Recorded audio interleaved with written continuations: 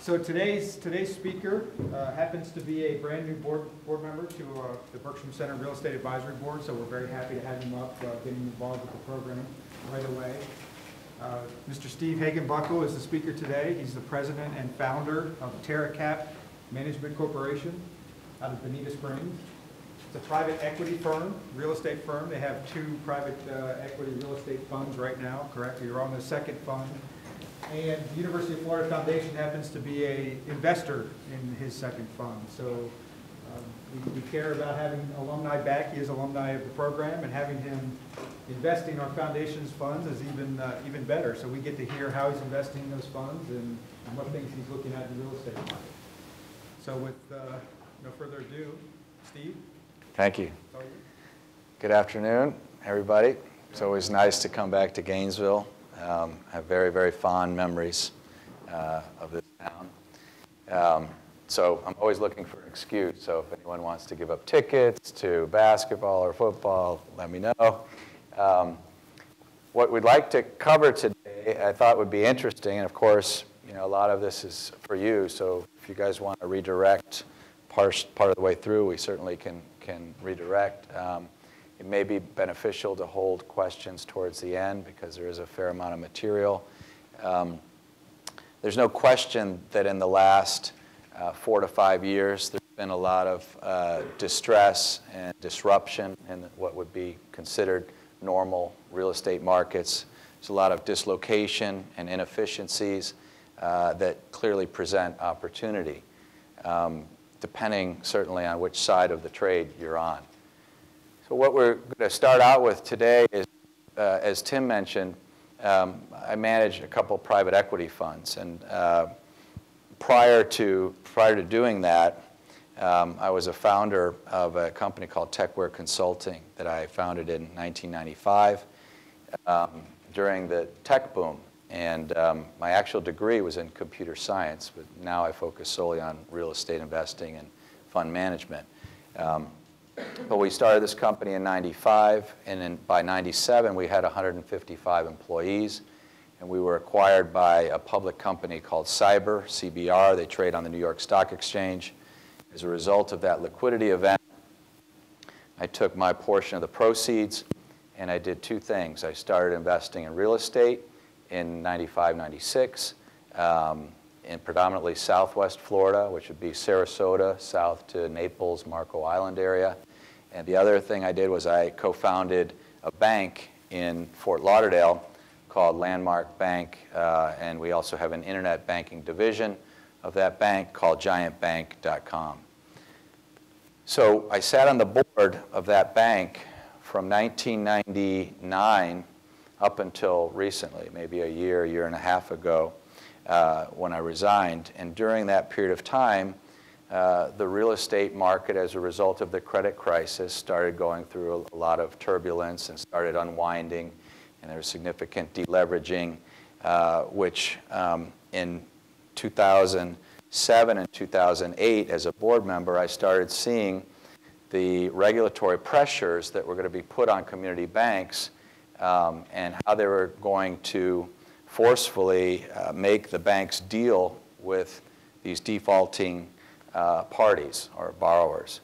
So we saw an opportunity um, which is rare uh, and uh, had a lot of similarity or from, you know, looked very familiar to what occurred in the early 90s with the S&L crisis that created a lot of opportunity for a lot of real estate investors. So um, our opinion at that time was to understand from an entrepreneurial uh, and opportunistic investing perspective, understand where the opportunities were going to be as a result of the dislocations and inefficiencies between banking and real estate, and put together a thesis and ultimately a strategy which would become a private equity fund to be an early participant in buying our way out of the recovery um, without any holdings. We had no holdings at the time. We had no legacy assets.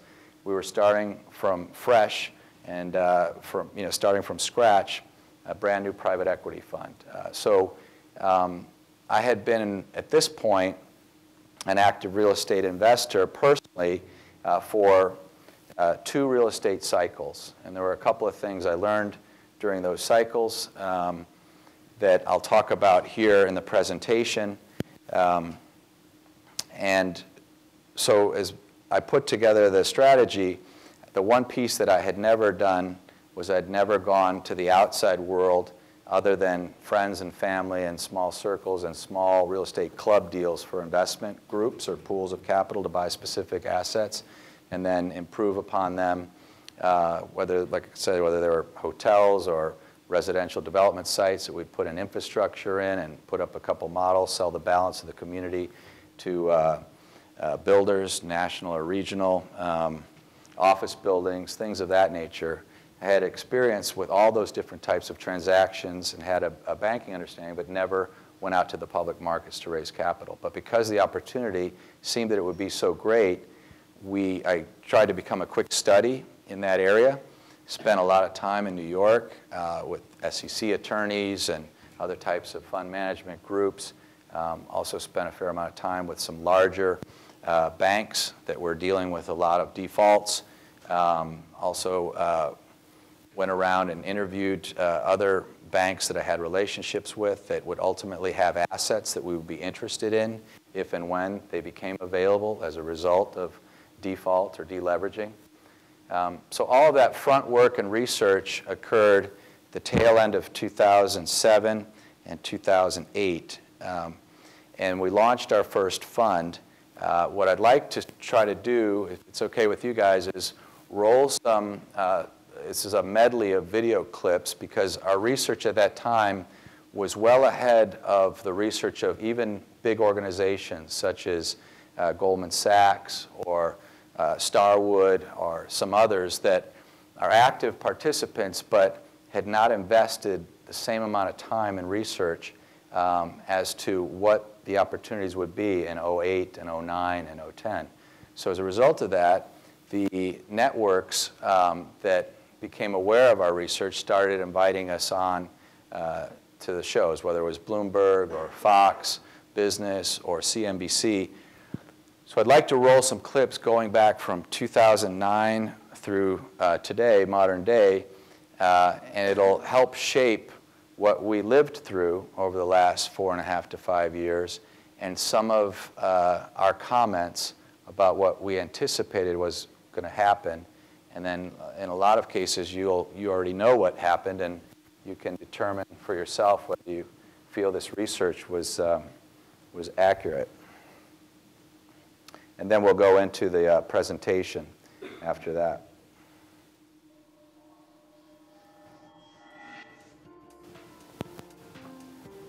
Steve, you run a private equity fund and are excited about the opportunities here. TerraCap Partners is a distressed, opportunistic private equity real estate fund. What's the story right now in residential real estate? Is this the time? What we're seeing now is historic opportunities that we haven't seen since the savings and loan crisis back in the early 90s. I think it's more affordable right now to own versus rent, and I don't think these opportunities are going to last long. When you, well, if you take a house that was 300000 you can buy it for 200000 you saved $100,000. That's more attractive than an $8,000 credit. For all-time low production, uh, one-third of the normal required production to support our population growth. In 2011 and 2012, uh, we're going to see a, a dramatic spike in new construction. The month-over-month -month stuff doesn't mean that much to me as an investor. What means a lot to me is, is where's the appreciation upride potential, and then it becomes an issue of timing that cycle, buying and selling during the upcycle, and then what area has retained the most.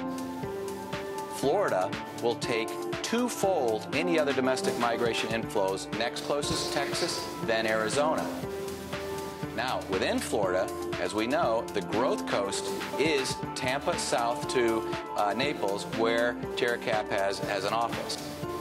I feel that in the state of Florida alone, we're looking at probably 25 banks that will fail in the next year to year and a half. A lot of them are trying to offset earnings by investing in mortgage-backed securities, and we all know what happened there.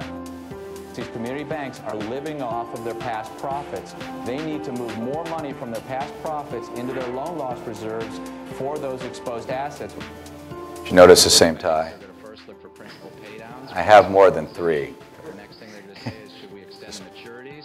Take the write-downs. And in some cases, it could be sold at as low as 18, 20 cents on the dollar, as TerraCap has bought in the past.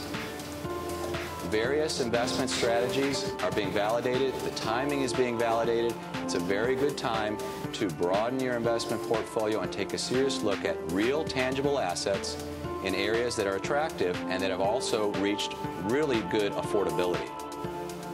But in private equity, the opportunities, I would say, are much greater, especially if you look at a certain swath of the market between 2 and $20 million. On our first fund, we focused on residential. We felt the right time to buy residential was between 2009 and 2011. We focus on the secondary markets because the big players are bidding up all the prices in the primary markets. Other places, places like Tampa, Orlando, the Fort Myers area, Miami, all of them are beginning to rebound, but there's still a lot of assets owned by banks that can be had for very low prices. We bought it at $41 a square foot or 41,000 a unit. Previous highs were selling at 220,000 a unit. Wow. My goodness. It's a nice holiday gift for our, for our TerraCap investors. Okay.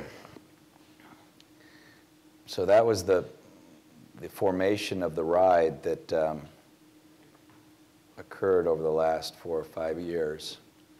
And um, research was really a key part to being uh, positioned, most importantly from a timing perspective. Um, let me see here.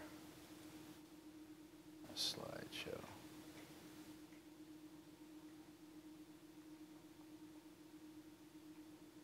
Oh, file. Oh, got it. Thank you. So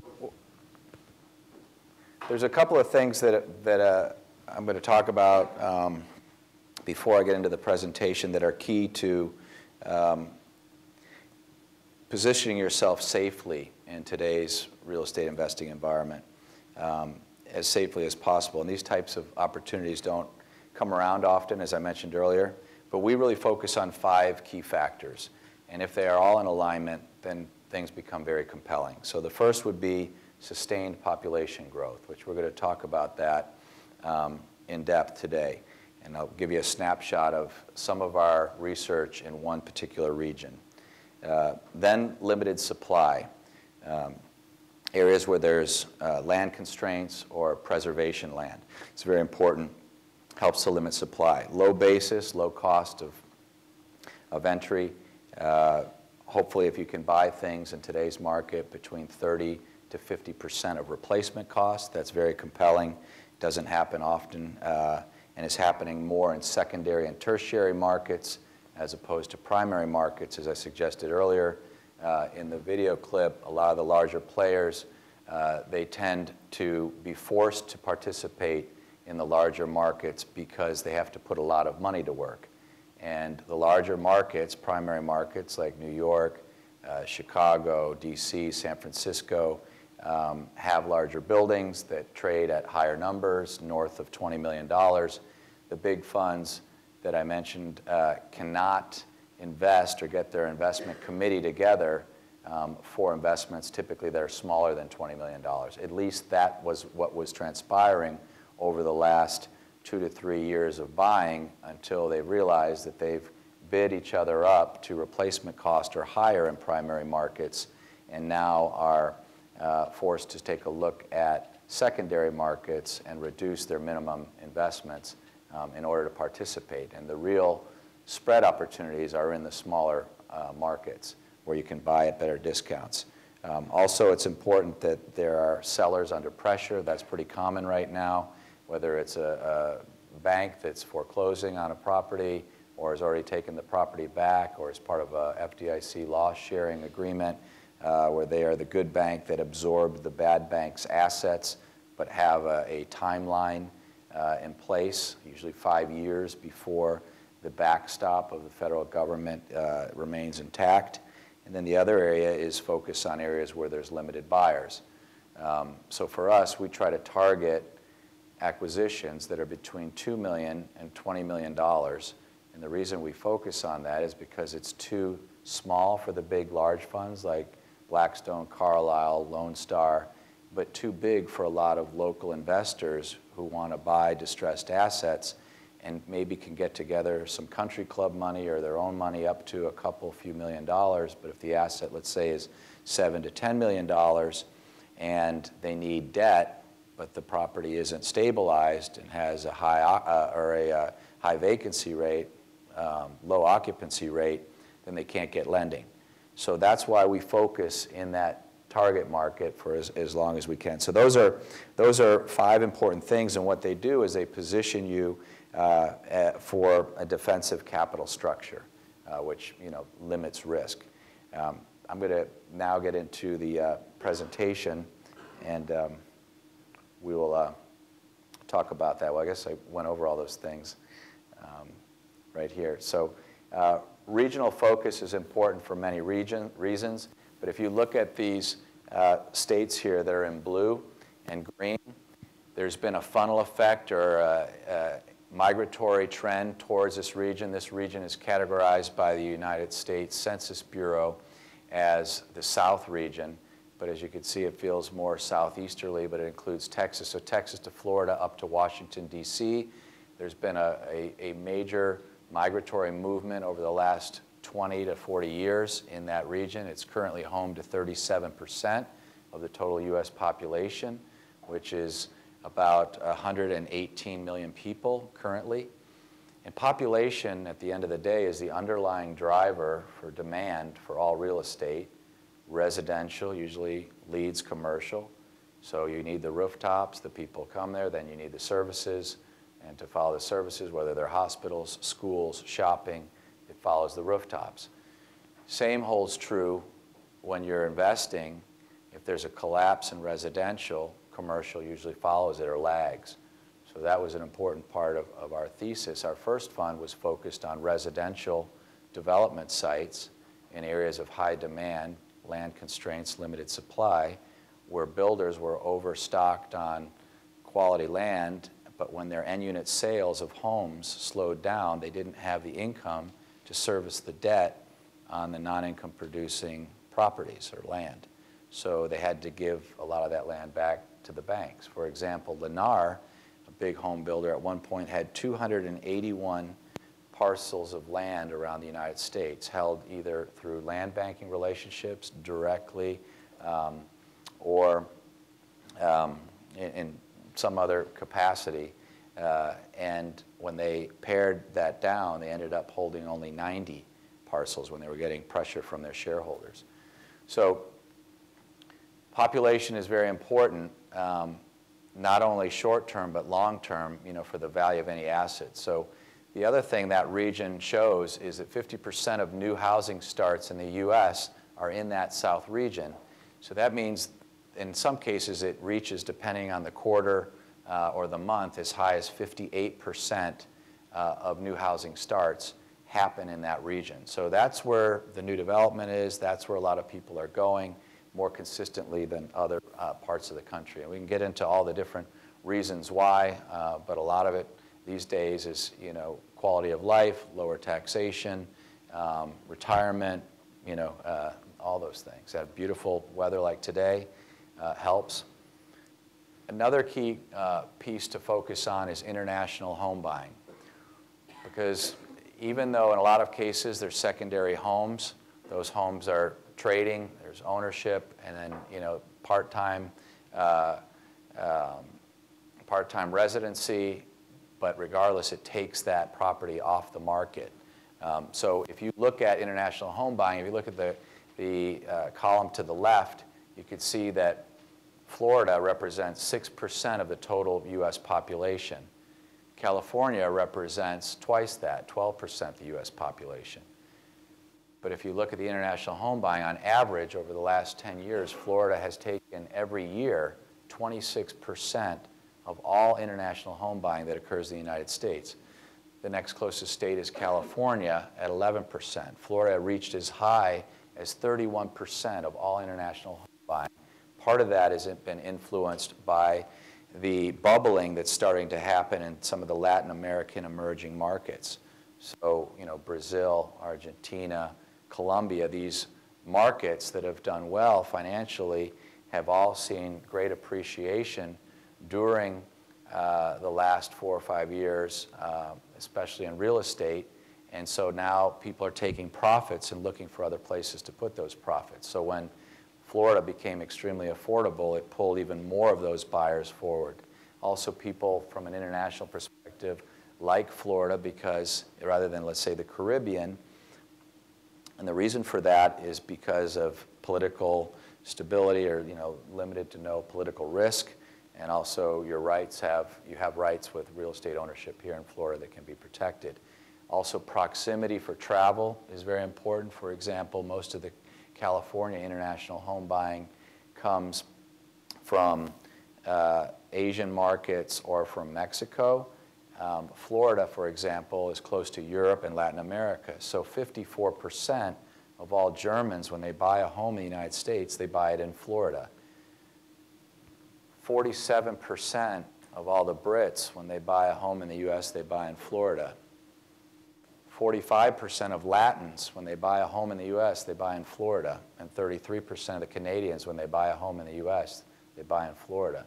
So it's pretty compelling.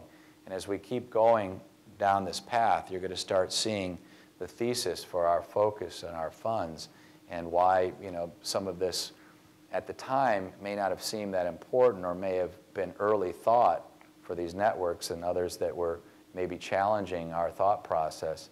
But now that we're selling the assets that we bought from the first fund and outperforming with our assets in the second fund, it's all becoming crystal clear. But it was really just numbers and research, working the numbers against normal production and absorption and figuring out where the opportunities were.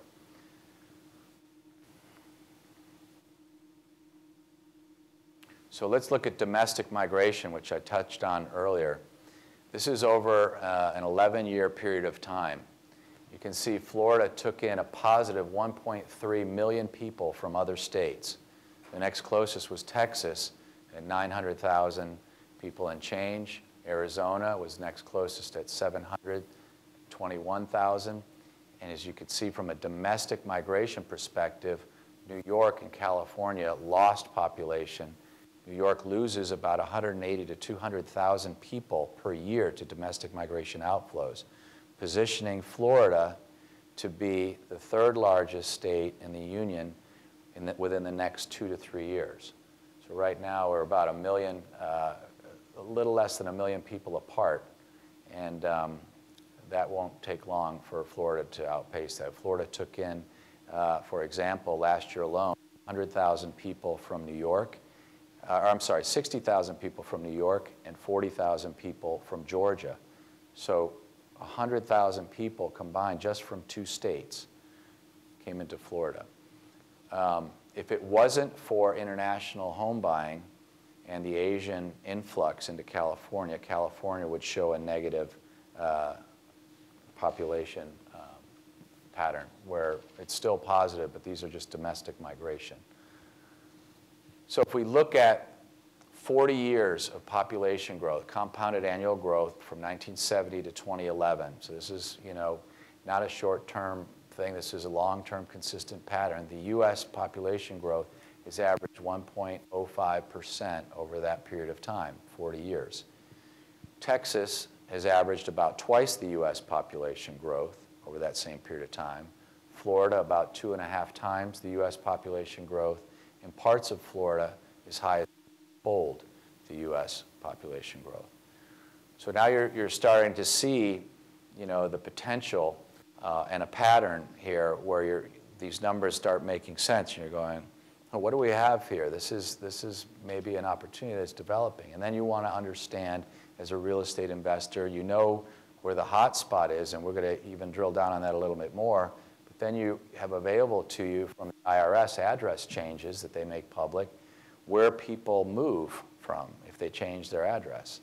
So you can see within a state what counties are becoming more popular than other counties. In this particular representation, we know that two and a half times as many people are moving from southeast Florida to the west coast of Florida than the other way around. So for every 25 that move west, only 10 move east. Now here's where it really starts to get interesting. Those graphics are to scale. So Florida, as you can see, if you look at the uh, third line down in area and square miles, Florida is about one fifth the size of Texas, one third the size of California, one half the size geographically of Nevada and Arizona.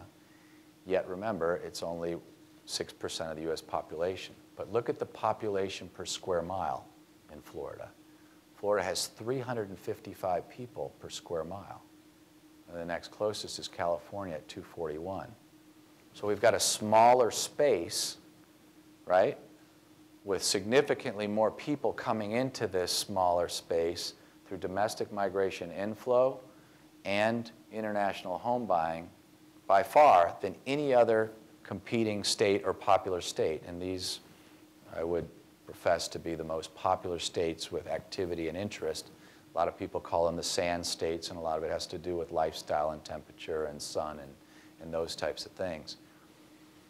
So when we were going through our research, now things start jumping off the page. And if you dig even deeper, which we won't get into, and you start looking at things like preservation land, uh, land constraints, for example, Florida, most people want to live along the coastline, close to the beaches.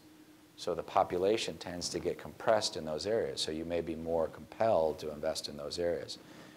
Now, where the opportunity really gets exciting is if you look at all of those states and you look at the sustained growth in some of the states, the one that had the most sustained growth and the most domestic migration inflows and the most appeal uh, also had the biggest distress in pricing and some of the biggest downward price pressure on record of all. So now you've got your thesis, right? So now it becomes an, an issue of, of knowing the areas that you're going to target, whether it's the land use or the demand for housing, offices, um, where the future uh, roads are going to be expanded, where intersections are going to be improved upon, uh, where schools are going, so on and so forth. This is the population projections from information from multiple sources. UF is one, another one is UCF, another one is the Census Bureau. And surprisingly enough, we went back and looked back to predictions from old newspaper articles from the US Census Bureau from back in the 70s, trying to project the population of Florida 20 to 30 years ahead of time. And they were surprisingly, very surprisingly accurate, like within 500,000 people, okay, going that far back. So we take a blend of all those different sources and we look at the different regions. And as you could see, as I mentioned earlier, the hotter spots would be the southwest, central Florida. Um, the southeast tends to be overbuilt. There's not a lot of land left. You know, the southeast and southwest both press up upon the um, Everglades. And by way of example, I was talking about land constraints and, and where opportunity is. Uh, for example, Collier County, which is home to Naples, is 67% preservation land. The entire county, if you look at it, it's 67% preservation land. So if you put all this information together, you start getting laser focus on where you should be investing. And then if you can buy things at 25 to 30 percent up to 50 percent of replacement cost, it's a pretty defensive position as a fund manager um, to take a look at. So one of the things I mentioned earlier uh, that I'll just talk a little bit about, and I, I said this on Bloomberg when they were trying to make a big deal about the Case-Shiller movement on a monthly basis of, of home values. It's much broader than that. It's much deeper than that. And that, that was the point I was trying to make where I said, I'm more interested in the appreciation upride potential and then buying and selling during that upcycle. So if you look at areas like, for example, Miami, Miami went up. Blue represents the peak appreciation from 2000 to the peak, and this is residential. So from a residential perspective, the average home went up 180% in value between 2000 and summer of 2006 in six years. After the complete give back up to August of last year, it still retained 48% of that appreciation. So the media would let you to believe that Miami was completely devastated and all value was lost in Miami. But really the issue is, is when did you buy it and when did you sell it? Or do you still hold it? And if you bought it, let's say in 2005 or 6 or 7, undoubtedly you got hurt. With the same thing with commercial, because a lot of that easy credit and uh, no doc credit and you know excessive lending that created a lot of the uh, sins of the past um, and exposed a lot of folks. Um, that was you know a key piece of the problem. But if you look at it from our perspective, if you bought right and you sold right, usually you want to be buying and selling during that upcycle, you'd be okay. So let's look at what, how important land constraints are in retention of appreciation. Again, giving you like a, a regional focus or a city focus to what, where you would want to invest. So we talked about Miami went up 108%, but retained 48%. So now if you go to the current day, it still is about a 4.8% retention per year. But look at an area like Dallas that doesn't have a lot of land constraints and has ring rows and ring rows upon ring rows of expansion and very easy for rezoning uh, from agricultural to residential, where Florida continues to tighten on that, but still is, is pretty uh, development friendly. Um, you can see that Dallas doesn't have a big appreciation upride. Has a very little appreciation upride. So if someone said, would you invest in Dallas on the residential side, the answer would be no. I mean, my answer would be no, because there's not that much opportunity there. So it doesn't go up much, but it doesn't go down much. But if you're looking for returns, you don't necessarily want to focus there.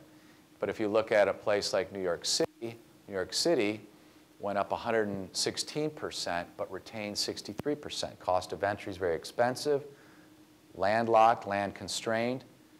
Look at Washington, D.C. A lot of that retention in D.C. is because of the government job creation and government spending that's happened in the last four years.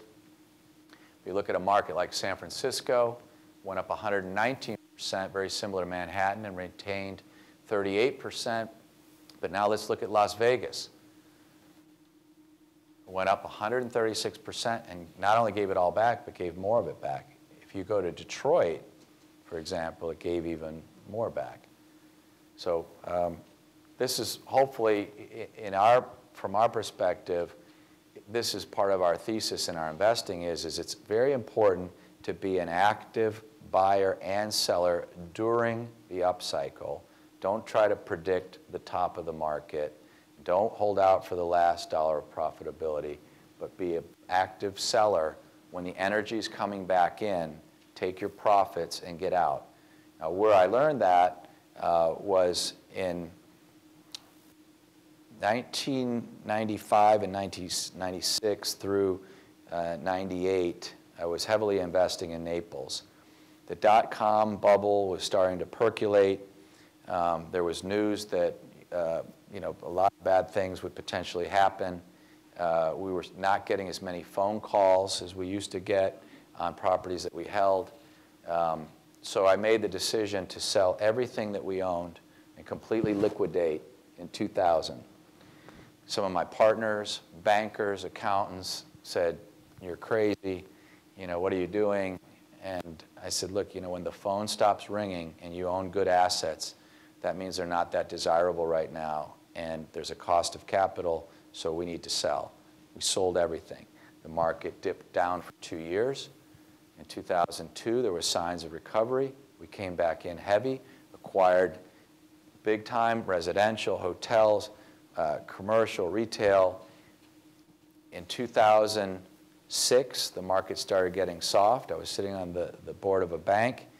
Um, I started selling everything in 2005 just because I was taking profits, but started accelerating that in early 2006. The market peaked in mid 2007. We saw prices starting to drop.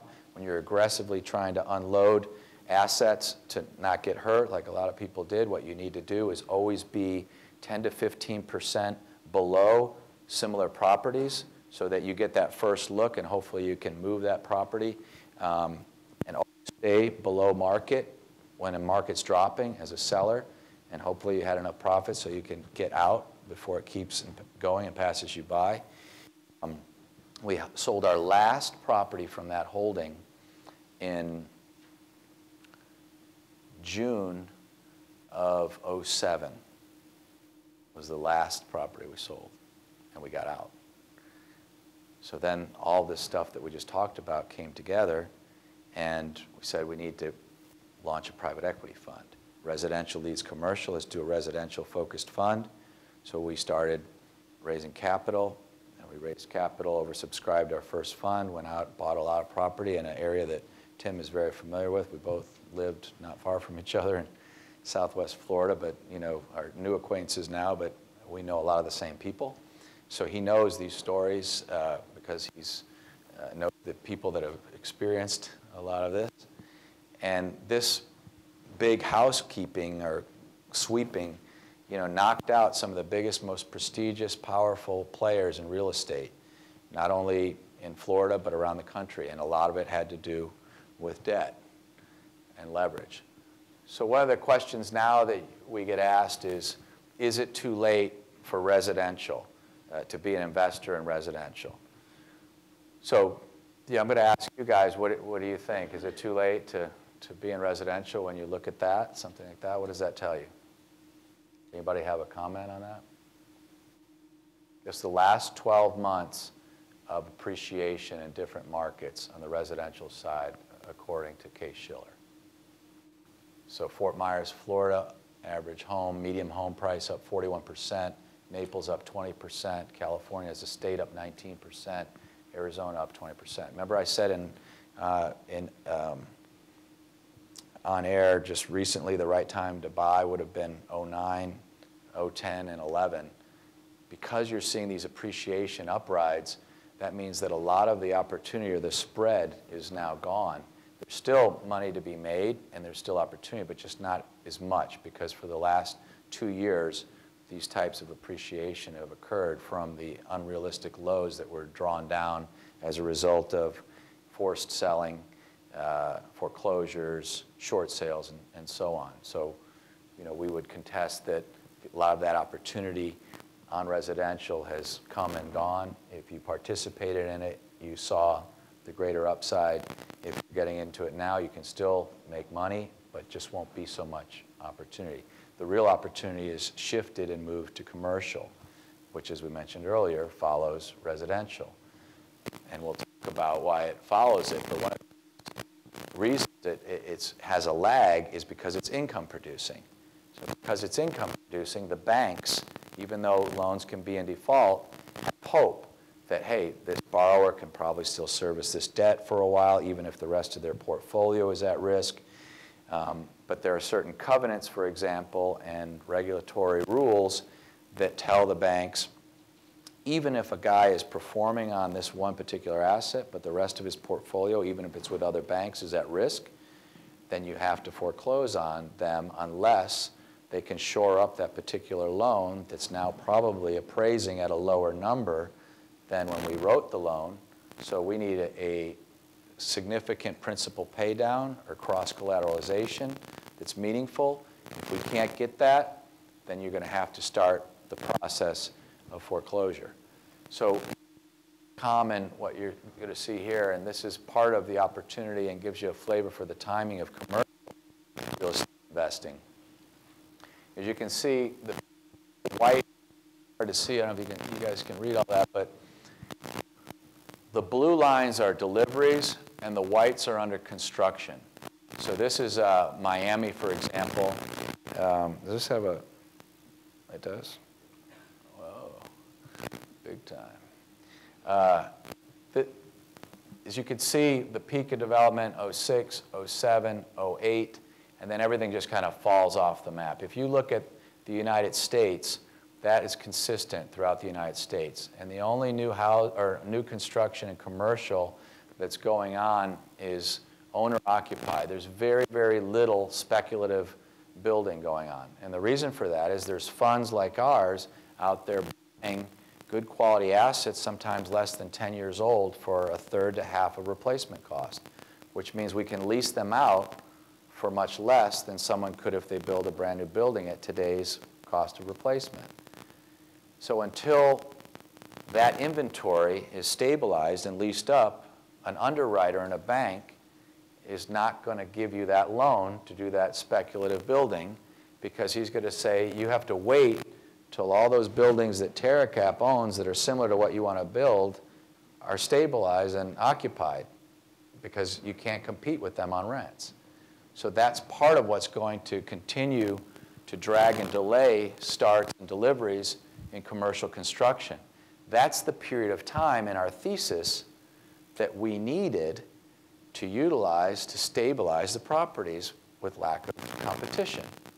So in our thesis, we said we need, we buy a property at a, at a deep discount, we'll take care of deferred maintenance, we'll position for new tenants, try to bring in new tenants.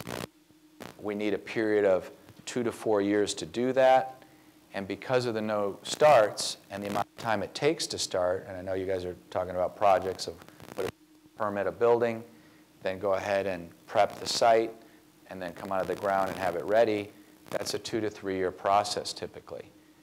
So if there's no starts going on right now, and there's not enough demand for the underwriters to justify the speculative construction, gives us the time we need to basically unfairly st stabilize the assets and then position them for resale, either individually or, or, package them. And while all this is happening, you can see that the rental rates not only are stabilized, but are starting to go up, especially in areas where there's demand.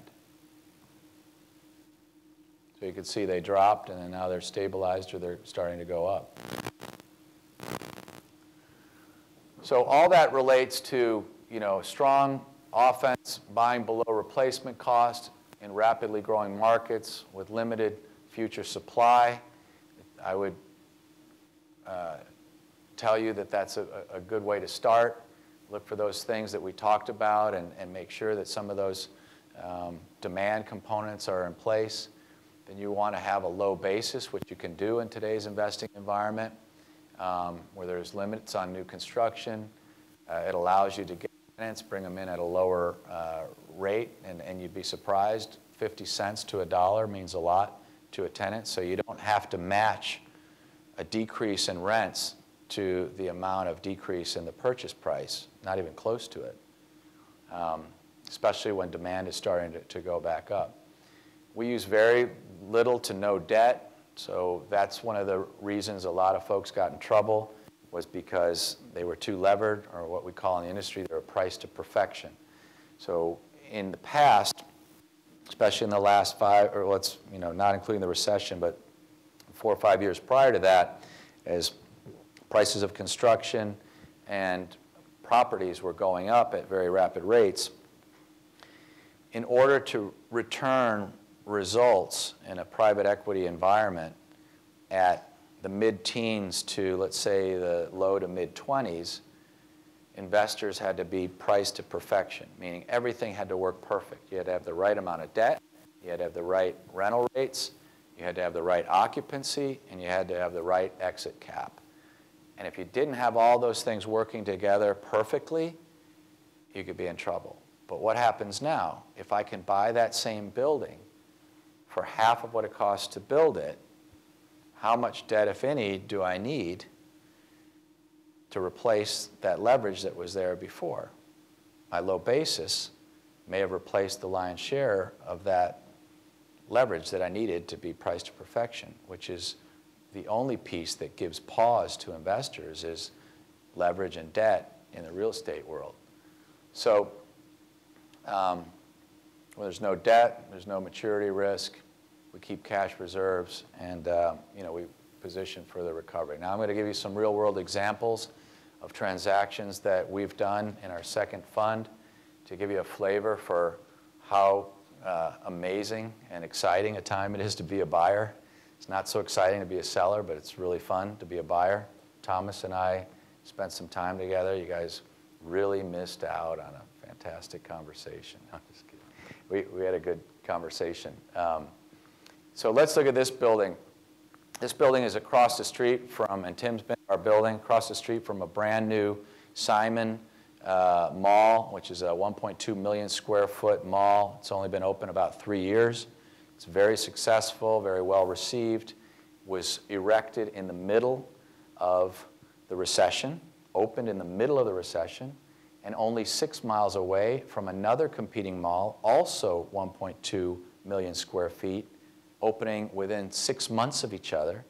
Anyone would think, wow, you're in the middle of a recession, there's two malls opening five miles apart from each other, a combined two and a half million square feet of retail space.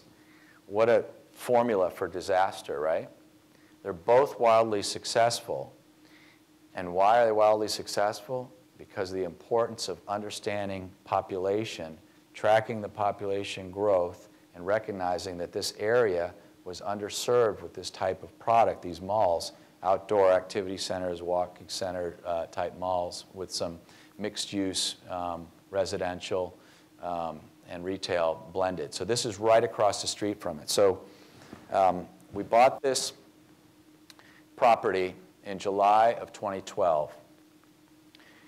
It's 11,000 square feet. The previous cost of the land was $850,000, which was paid by the previous owner in 2003. His basis was $2.2 million, or $200 a square foot, all in. We bought the building and the land for less than what he paid for the land. This is what it looked like. Fast forward 60 days, we changed the color scheme to match the new Simon Mall so that we could create what we call a halo effect, a halo effect or piggyback off of their theme or their concept, make people think that it's part of, of the mall DRI, Development of Regional Impact. The um, uh, property used to be called the Walden uh, Office Center. We changed the name to Coconut Office Center to further piggyback off of this big, fantastic, successful mall. When we bought it, the occupancy was 0%. Five months later, the occupancy is 64%. We've just got to lease out 2,200 square feet of the first floor. And uh, we actually moved our offices to the top floor. Um, Downing Frye Realty uh, took the second floor and this front section of the first floor. And then we anticipate by probably um, April or May, it'll be 100% occupied. So again, you know, some key components here. Replacement cost in today's world is about 2.75 million. We paid 840. We put 90,000 into it. We're into it for $930,000. Implied value at an 8 cap is 1.6 million. Equity multiplier about 1.9. This acquisition here, um, and I've got to explain to you guys a little bit these numbers, so you know, don't don't freak out on me, you know, when I tell you the certain numbers that conflict with these, you'll understand it and you follow me, because we try to translate it. To, I was at University of Florida earlier, and um, I have to um, share with them numbers that are consistent with what we bought here. So that's why you'll see there's a bit of a conflict, but it's not really a conflict once you understand. Well, that was wordy, huh? So, so this is an apartment complex that was built in 1999, finished in 2000. Total 286 units, okay? It was originally built as an apartment complex. These are covered parking. This is, you know, buildings, uh, so on. Um, it's in Cape Coral, Florida. Uh, if you understand Cape Coral, Florida, parts of the state, where there was tremendous amount of single lot platting development going on. Uh, back in the 60s and 70s, developers would take big tracts of land. They did this in Marco Island. They did this in Golden Gate, Naples. They did this in Lehigh Acres, and they did this in Cape Coral. They did this in Northport. And so the development style du jour back then was buy a big piece of land, subdivide it in as many bite-sized residential lots as you can, but they didn't think about things like multifamily, the demand for commercial when completely built out. So they were platted a way that creates opportunities if you understand uh, the situation. And that, my point behind all this is Cape Coral was, is dramatically underserved for multifamily. So there's not a lot of rental competition there. Matter of fact, this is the only apartment complex of more than 30 units in all of Cape Coral, which at build out will be home to 450,000 people. So you can compare that to what's going on here in Gainesville, and you go, wow, um, maybe three times Gainesville with one apartment complex. Sounds like an interesting acquisition, right? And maybe you're going to have some long-term, consistent, sustained demand for that property. So 286 units was built from scratch, rented out. There was a big movement, in, uh, and the guy paid, uh, the original uh, developer sold it in 2005, but he sold all 286 units, not 196 units, but 286 units for $28.8 million, or 100,000 a unit, translates to about $100 a square foot, because that there are roughly 1,000 square feet per unit. The two bedrooms are 1,000, three bedrooms, uh, 1,100 square feet. In 06, he tried to convert it to condominiums and was successful in doing that. But while he was converting it to condominiums in 2006, he had to vacate rentals in order to sell fee simple ownership in these condominiums. So that's a, a, a little risky business, uh, especially if things slow up. So at the peak, he sold in, in short order, and it was quite successful. In short order, sold about 86, 85 units, whatever the difference between 196 and 286 is, um, basically 90 units, sold 90 units in a period of 12 months. At the peak, they were going for 220,000 a unit. Things started to collapse, sales started to slow. They went from 220,000 a unit to 180,000 a unit, 120,000 a unit, 80,000 a unit, no rental income, the debt was with Gramercy, uh, which is a mortgage REIT. Um, he had financed uh, the acquisition through them, couldn't service his debt, had other properties that, that um, fell apart as well. Um, so Gramercy took the property back through foreclosure. Um, they were in ownership of the property, found an apartment rental company to manage it. But uh, Gramercy's in New York, didn't really have their eyes on what was going on there. Um, we knew uh, the asset manager at Gramercy. This was an off-market transaction. It wasn't for sale. And we ended up, they marked it on their books at 13.5 million. We bought it for 8.13 million or $41,000 a unit. Um, replacement cost is estimated to be about $22 million, and it's 98% occupied. And it was, the irony of all this is it was 98% occupied when we bought it. Implied value at 85,000 a unit is 6.6 million. Right now, the market supports 80,000 a unit. The market's rising. We'll probably be patient. You can see we just closed on it December 27th. Um, but uh, just to give you a flavor of some of the crazy stuff that goes on. For seven years, seven units stayed out of service at basically a thousand a month per unit, 70,000 a month, you know, almost 100,000 a year in revenue. And we took five of those seven that needed very little changes, and, and in like three weeks, they're back in service. So that's a, another opportunity there. Um, one thing I think is important to, to know, uh, we bought this with a joint venture partner.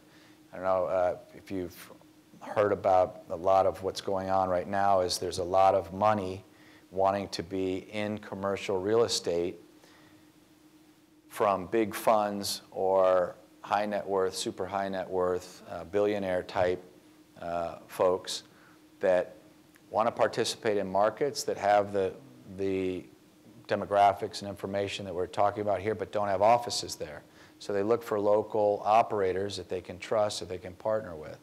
They uh, partnered with us because their offices are not close to Florida, and they said, we'd like to participate in some of these off-market transactions with you.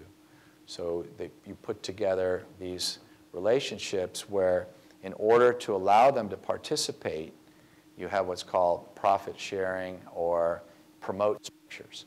So in this example, they put up 80% of the equity, we put up 20%. Up to a 10% return, it's pro rata pari passu, meaning equal, everybody takes their equal share of profits. From 10 to 15% return, we get 30% of their profits on 80% of the equity. From 15 to 20% return, we get, in return for letting them to participate, from 15 to 20% returns or IRRs to them, we get 40% of their profits on 80% of the equity.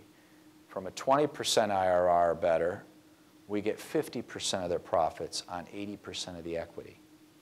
So these are the types of deals that are common in private equity right now where outside money wants to get into certain markets, but they don't have the boots on the ground or the relationships or the access to these types of transactions. So they're willing to give you these promotes or profit shares in order to participate. This here uh, is a perfect example of a classic textbook private equity deal that will eventually be true arbitrage. Tim, I know you know this area. This is um, Southwest Florida Regional, uh, well, now Southwest Florida International. When I grew up, it was regional. Um, I'm from the Naples, Marco Island area, so uh, this used to be uh, amusing little landing strip back when I grew up. But now it's, it's uh, Southwest Florida International Airport, services the Fort Myers, Southwest Florida area. It takes in about uh, just under 8 million passengers uh, a year. Um, it's in Lee County, for those of you who aren't familiar, right by Fort Myers, Cape Coral, Bonita Springs, Estero, which is home to about 750, 780,000 total people. Um, also predominantly services Collier County, which is about another 360,000 people, so the combined two counties are about a million.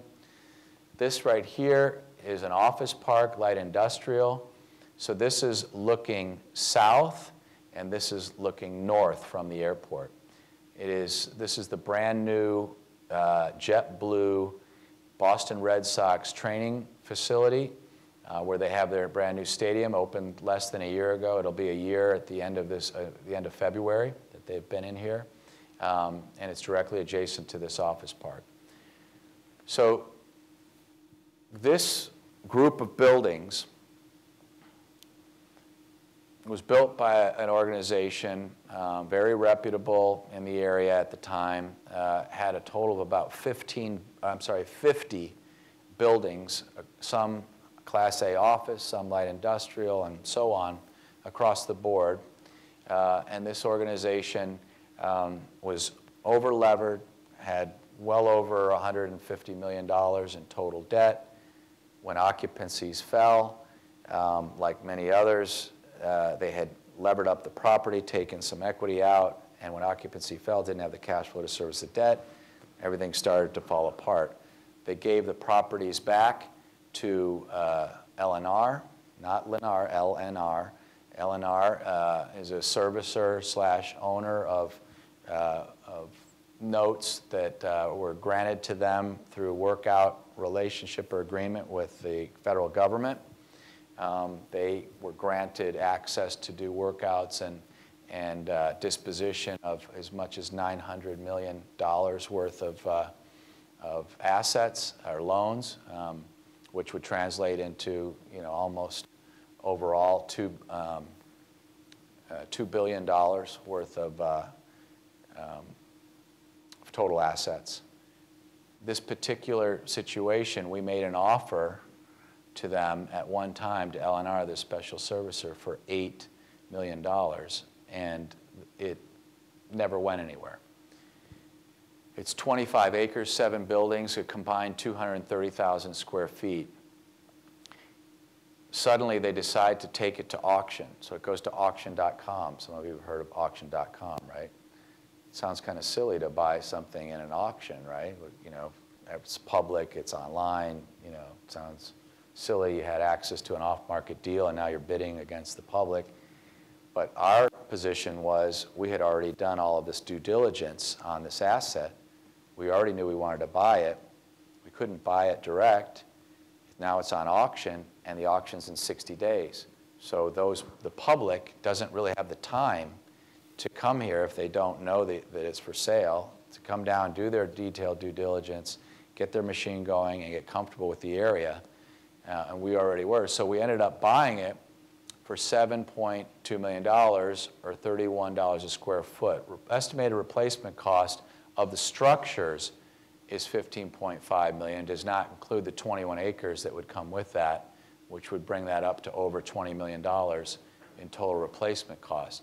So when we acquired the note, right, um, the builder developer who was in default uh, of all these uh, still had their guarantees in place, and they were also still operating and managing the property.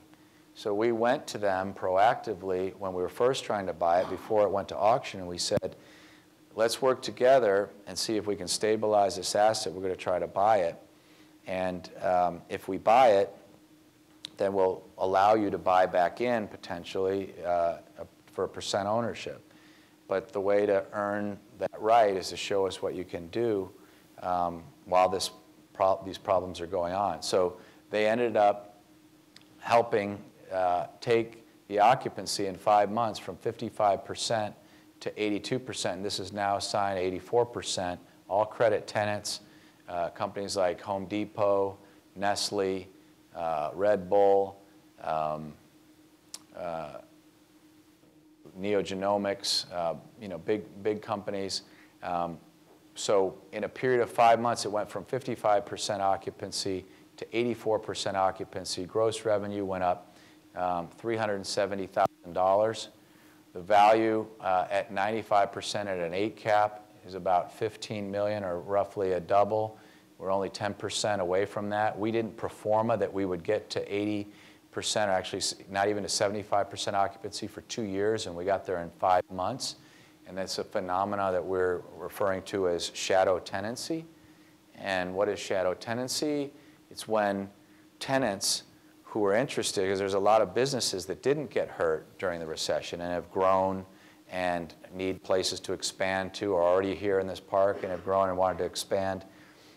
Those particular tenants were interested in going into this park, but when they knew it was in foreclosure or ownership was uncertain, they weren't willing to sign a lease. And their leasing broker or agent advised them, don't sign a lease. You want to only sign a lease when you know who's going to buy it. Will they take care of deferred maintenance? Will they be in a position to fund tenant improvements? All those things.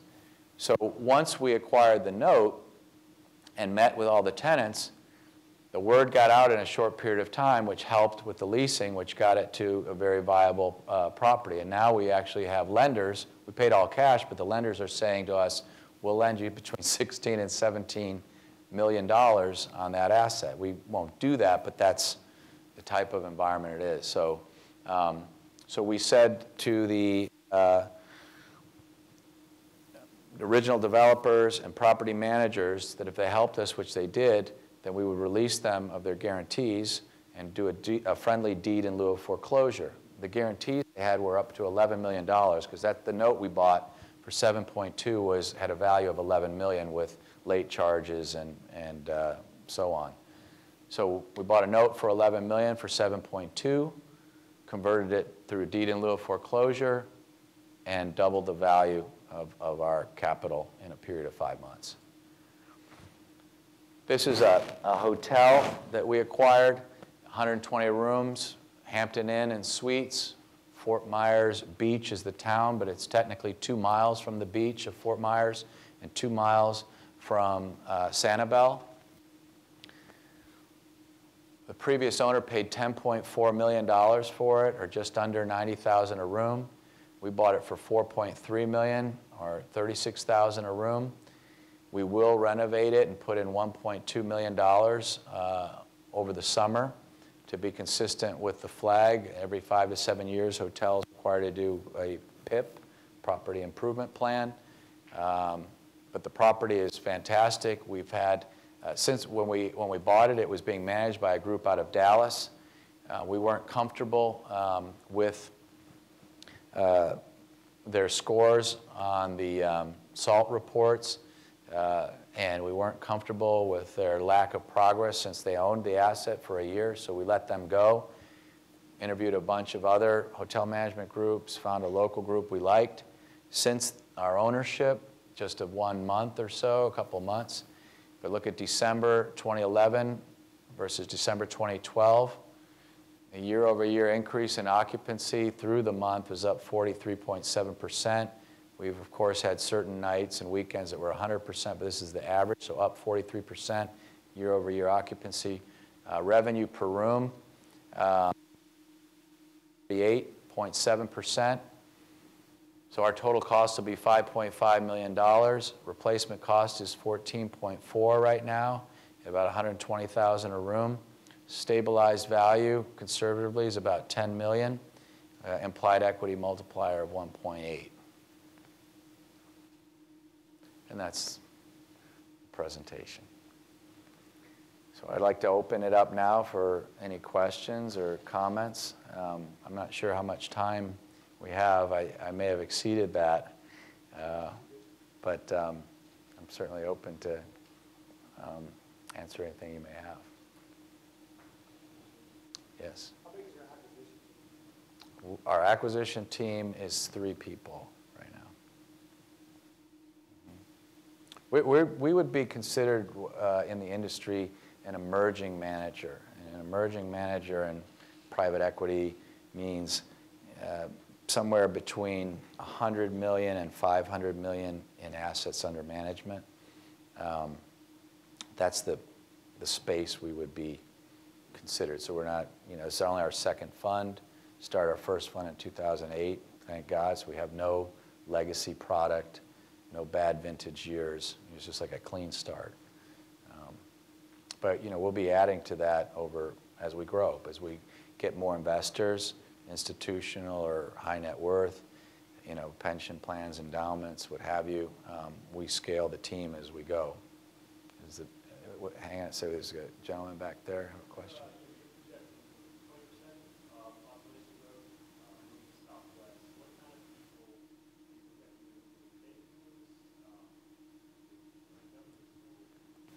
You know, I grew up in that area, right? So um, I've watched, and Tim's been there, watched a lot of, a lot of movement there. The lion's share is, uh, without a doubt, elderly. Okay, elderly, meaning let's say uh, it used to be between like 60 and 80 was kind of the average. Those averages are moving down now, where I'd say the average is now 50 to 80. Um, and I know that uh, in some parts, between Sarasota all the way down, depending on the city, because we do, you know, a lot of demographic studies and just reviews of, of the, the changes. But some of them are averaging like 48 uh, years old is kind of the average in some cities. And some cities like in Naples, the average would be higher. It'd probably be closer to 58. It's probably the average. Um, regardless, the, the trend clearly is it's getting younger. That has to do with mobility um, of the workforce, um, automation, communication, makes it easy to you know work in your you know your bathing suit and flip flops on your in your you know with your iPad you know in your in your balcony or at the pool, um, and we see a lot of that. So it's just a trend, yeah.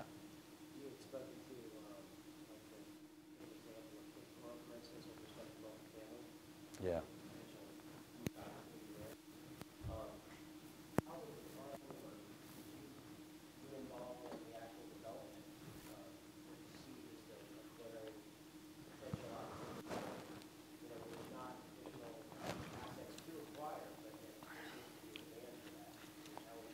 Yeah, that, it, you have to, I have to further explain the, the limitations that come as a result of massive single lot platting. What happened is in the 60s and 70s, um, the Rosen brothers, for example, acquired that land, put in some canal systems and, you know, some lake systems. Actually has, I think, more canal systems than any other place in the state, Cape Coral does.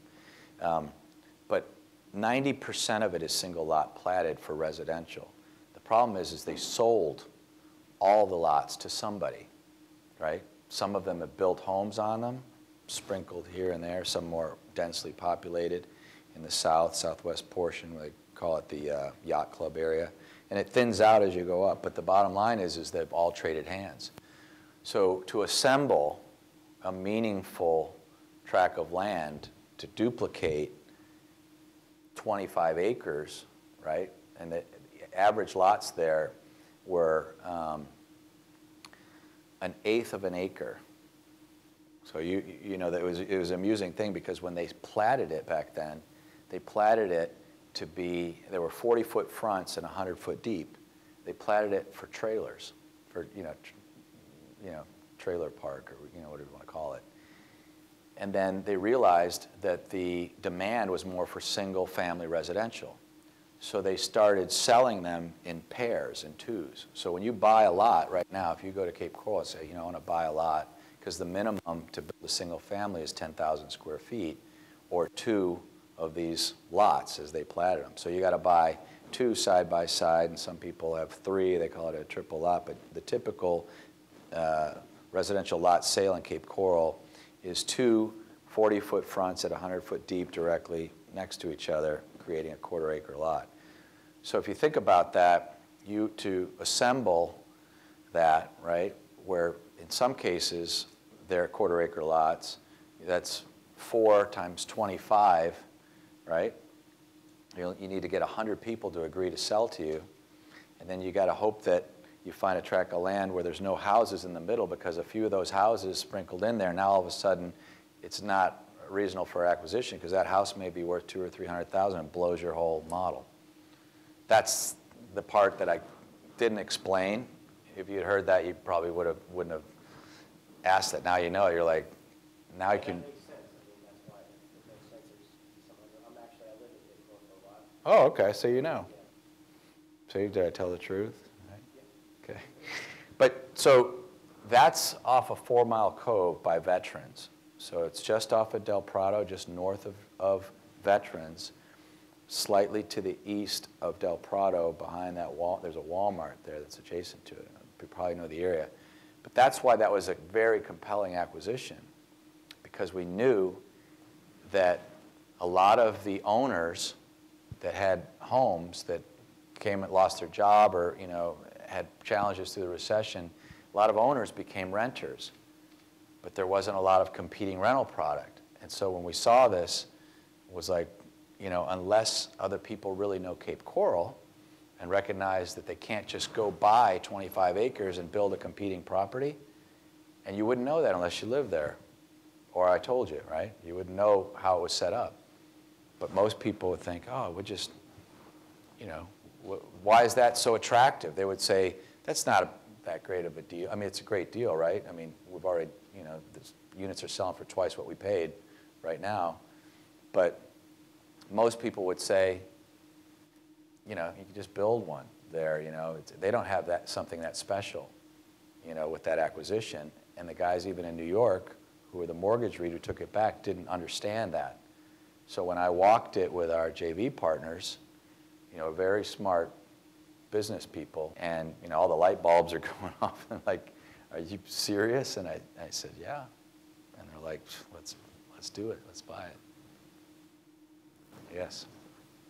Uh, in regards to the uh, Naples, Collier County area, Uh-huh. um, you said the development is west of 75, right? Most of it. Most of it. There's a lot now happening east of 75. We just sold a tract of land on Collier Boulevard 951, which is east. There's a lot of it going east out of Immokalee and Vanderbilt Extension.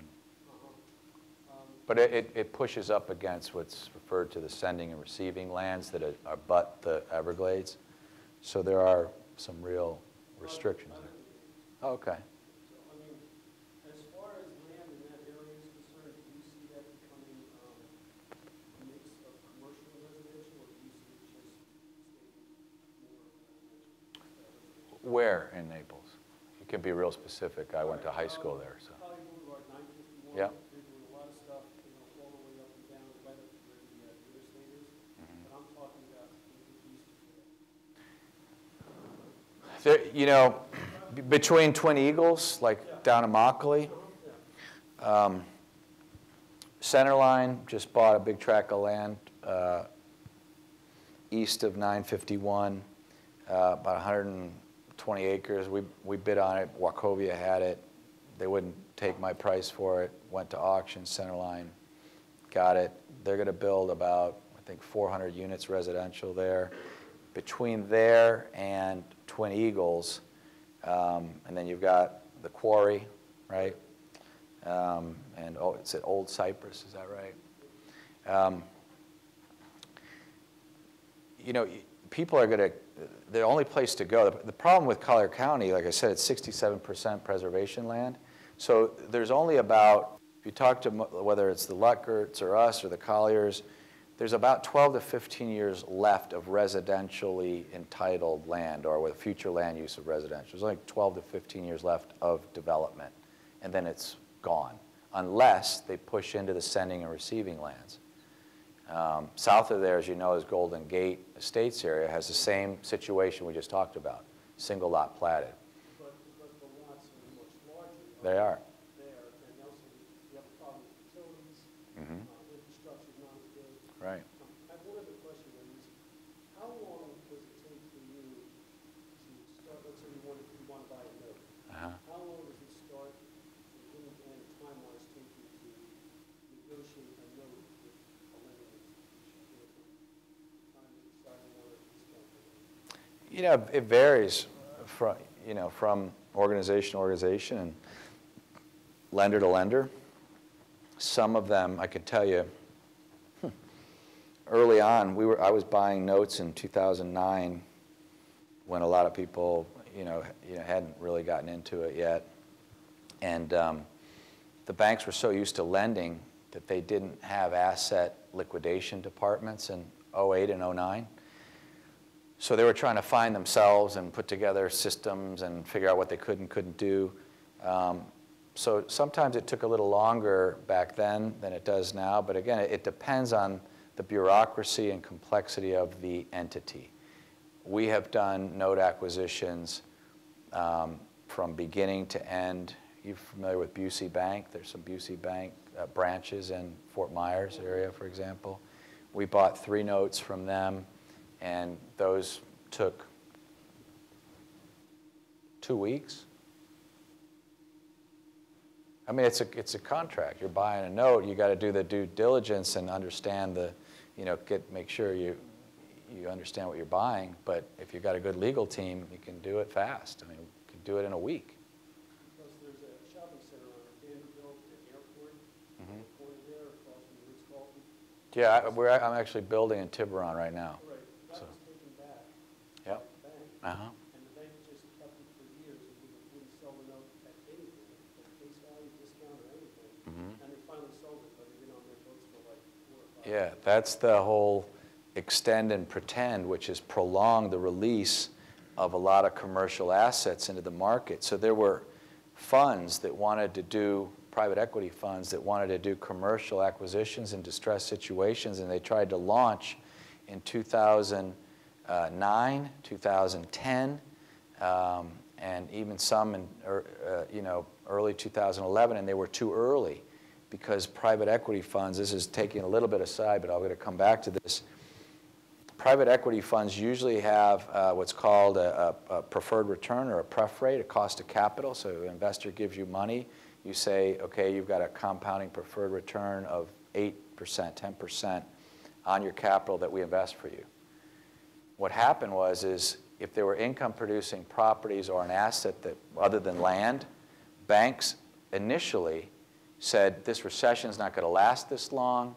This value, this asset's got more value. We're not going to give it away to guys like me right? That we're not going to give it away, we're not going to take these low ball offers. And the regulators, remember I sat on the board of the bank, so the regulators were saying you can do developer workout agreements, forbearance agreements, modify some of the terms and conditions, but none of these vehicles that they were letting them do had more than like two years life to them. But sometimes they would delay even the start of the process. And then the last resort is foreclosure, and they start going down the foreclosure process. So a lot of it just has to do with the internal management and board's perspective on that asset. I know it's called Galleria, Vanderbilt Galleria. I know the assets right across from Tiburon. Yeah, it is. Um, and actually, uh, I tried to buy it after that guy bought it. Yeah, yeah, he won't. Yeah, so it just varies. And, and, and I'm glad you brought it up because the bigger the organization and the more strength they had financially, like Wells Fargo, right, who took over Wachovia, they're extremely difficult. And, and that property that I talked about that Centerline bought, that's who had that note. They absorbed it from Wachovia when Wachovia failed. Wells Fargo is very sound financially, so you know, their, their loan loss reserve ratio is never at risk because they're so big. But if you're a small community bank or a small regional bank that has a smaller loan loss reserve and is under strict scrutiny and you know, uh, surveillance of, of the regulators, um, you have to move the assets quicker because they're coming in every quarter saying, you know, you're upside down, you've got, you, you know, you don't have enough shareholder equity to move into your loan loss reserves, your bank's overall at risk, your, your ratios are out of whack and you need to fix it. So, so they're more motivated if, if they can. They're either going to fail uh, and go away or they want to, if they have the ability to cover the loss, then they'll take it and move on.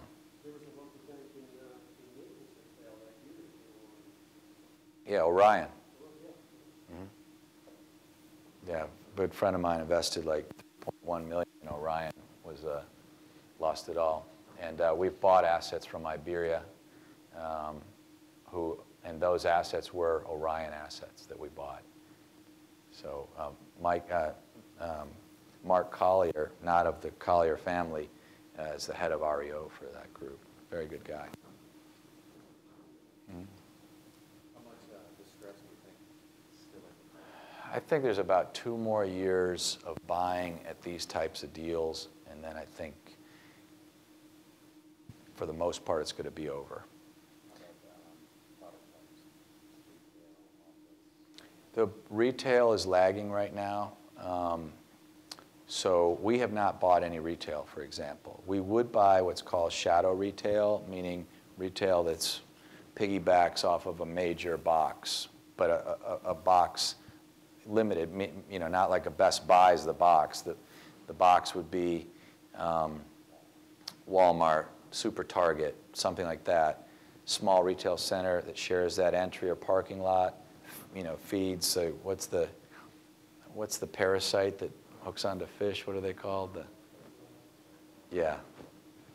We, we, that's a perfect center right now and the only center that we would buy, um, especially in an area like we just talked about. You put two brand new, fantastic malls that are wildly successful, and you hear this large sucking sound of all of those tenants being sucked out of the local strip centers going to that mall because it's a destination shopping place and you know they so we until until there's more people that come and smaller services that will ultimately go into those retail centers you know we wouldn't be a buyer unless it's shadow Yes. So um, after that pipeline is through two years, what's your plans? Thomas asked me that. Um, we, you know, we're going to do a series of private equity funds. Um, we're not 100% sure yet, and we get asked this because what happens is, is when you start getting into institutional uh, investor relationships or endowment relationships, for example, like the university uh, that invest with us, they want a long-term relationship with managers, uh, so that if they take profits, they can put them into the next vehicle. Um, so we get that question a lot. Um, we are not 100% sure, but these are the areas that we would consider that, in my opinion, seem interesting.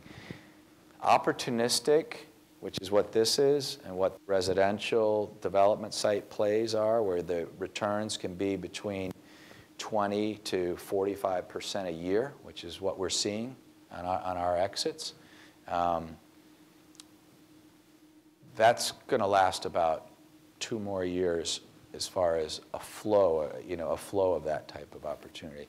And there's a couple reasons why, because as we exit stuff that we bought at a higher sale price, that now goes into the sales comps, that goes into the appraisals, that the banks have to do every year on assets that they've owned. Those values are going to be perceived to be going up, which puts, you know, creates spread compression on the opportunity for us. And now you can't get 25 to 35, 40% returns. You're going to end up getting maybe more like 10 to 15% returns in a couple years from now. Um, and so, not that that's bad, but it's you know not you know deep, deep value opportunistic investing. I think that um, back to your your question, um, we would do an open-ended core fund, uh, which is a very safe, um, you know, Class A office space in good locations, but yields six to eight, maximum 10% consistently. Uh, we would do something like that. We would also be interested in international agriculture. Um, on a private uh, side, we own some um, orange groves and uh, cattle land. So, you know, we're, we're familiar with ag. Um, I was telling uh, Thomas that I think uh, timber uh, and timber funds is a good play right now as residential recovers. 70% of all um, construction materials in residential come from timber, so or some flavor of timber, right?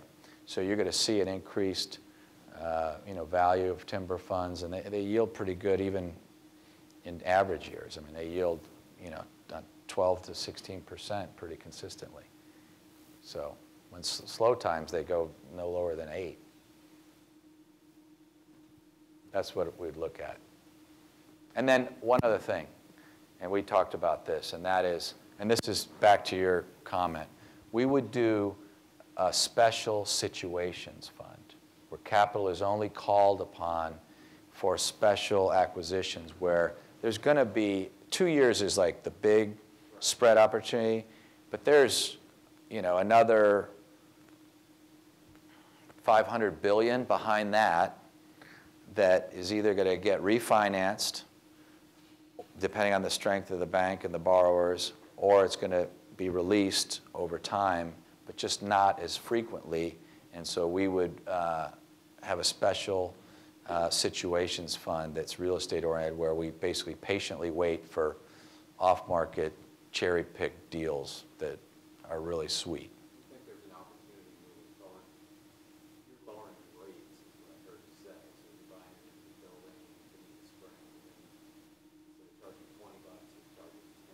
Now, instead of charging 20, yeah, yeah, I mean, yeah, to your point, yeah, but a lot less than what we thought. I mean, perfect example, if you, and Tim knows, if you go just south of our building, there's another three-story building that Bank of America took. It's for sale. It's only 1,000 square feet bigger than ours. Nicer finishes, definitely Class A finishes. Ours is like a B, B plus, right? They're asking $3.1 million for that building. Remember, we paid 840, right? like, you know, I could throw a rock and hit the building. They want, at that price, at their, at their sale price, they want right now 1450 a square foot, triple net, right? You know, net 1450. We, we did our first year with five-year, you know, uh, five-year you know, escalators at 1350, only a dollar off. Uh, they're like Oh, T, TI? I mean, we didn't have to do much, fortunately, with the tenant that moved in. They'll have to do more because their finishes are so nice. You know,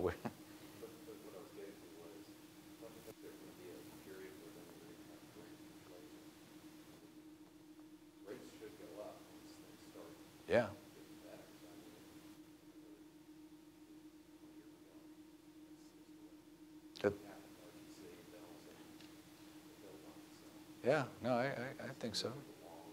Yeah, so you want, yeah, do, you want to do shorter leases, right?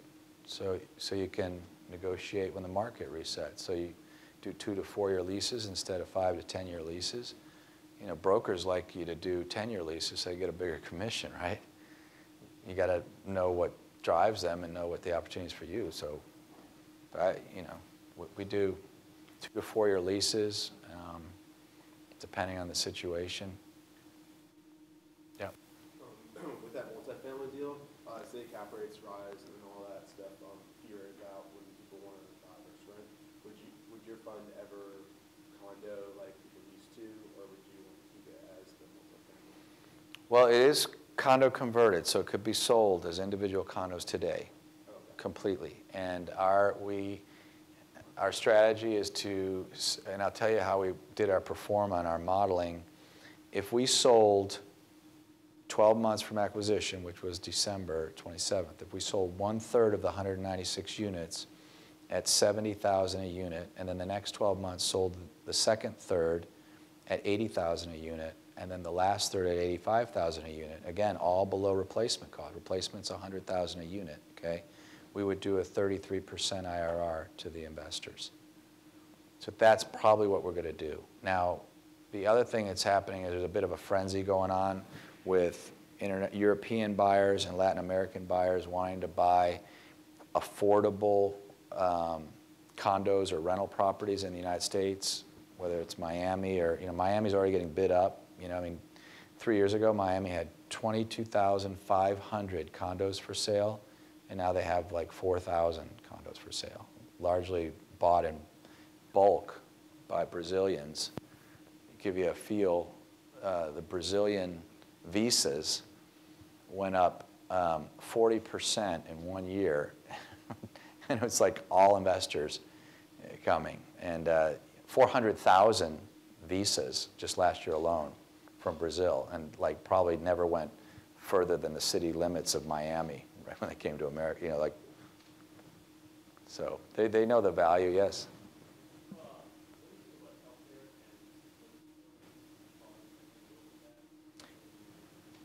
You know, I, I get a lot of calls because we have uh, assisted living facility um, and senior housing sites, development sites. One of them is actually on the Coconut Point Mall DRI, which is right across the street.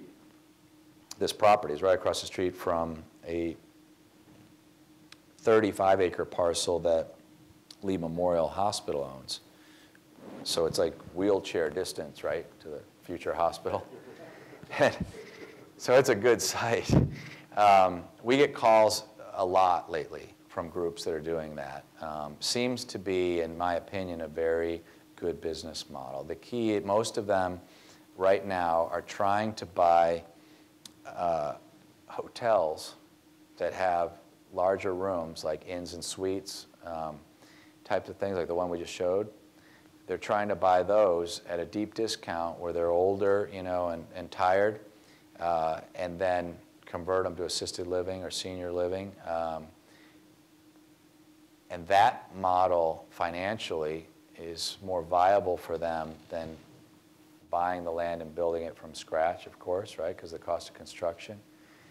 Uh, you know, the, the interesting thing that I've learned through a lot of this is because we, we've done a lot of models, right, against these acquisitions. And it's hard to understand how, with confidence or long-term confidence, someone can build a building today at today's construction costs and make the business work without significant amounts of leverage or debt, which is a little, a little concerning.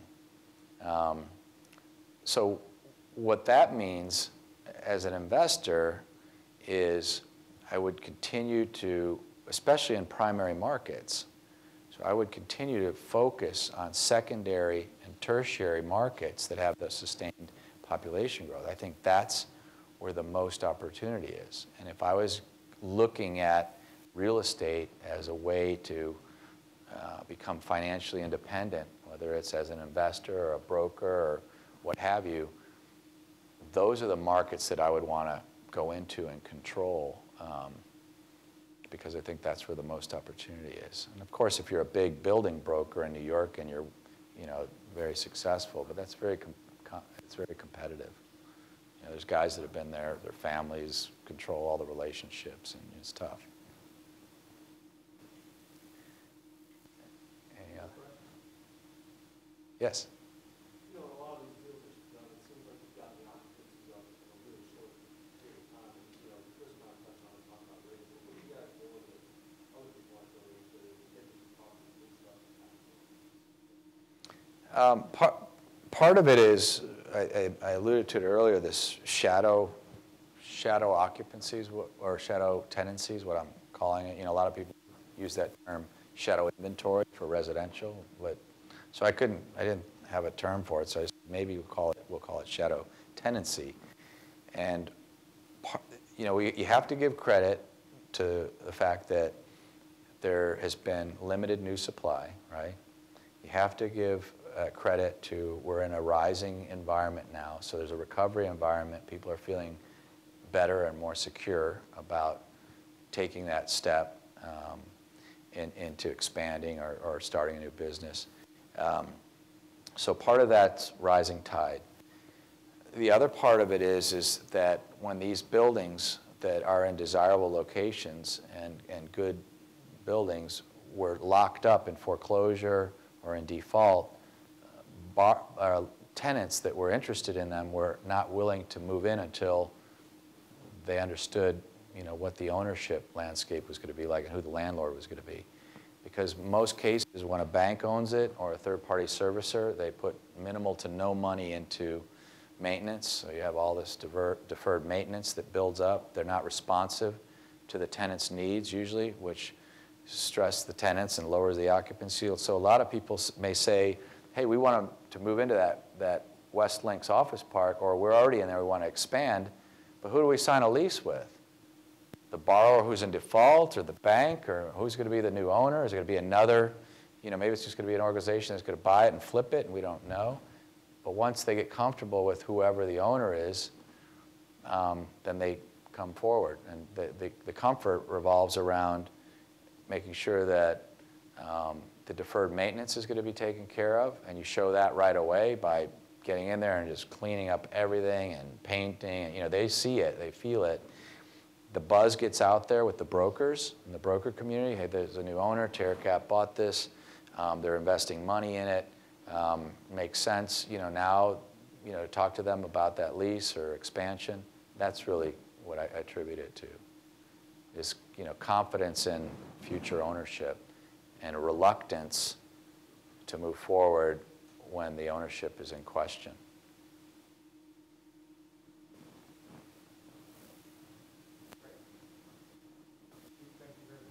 You're, you're welcome. Thank you.